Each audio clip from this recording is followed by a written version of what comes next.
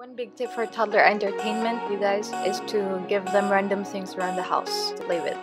Hi everyone and welcome to Vlogmas Day 15 and so I hope my hair isn't too crazy right now. So for today we're going to talk about Frozen 2. The second movie for Frozen is actually pretty cool. Pretty cool, literally, right? we really liked it as a family. My daughter loves it. She loves the songs in it. And right now there's Frozen, the first Frozen movie in the background that's playing. So I guess that's a little bit relevant to today's video. And anyway, my battery is going to be dead in a couple of probably seconds right now so I hope this will still record and it says recording so let's do this. Frozen 2 is really good. We watched it actually twice and I'll just pull in a couple of clips and pictures that we did during that day and it was a very nice sweet day for us because we got to spend quality time together as a family. I love spending time with my family. I love having quality time with them and I love them.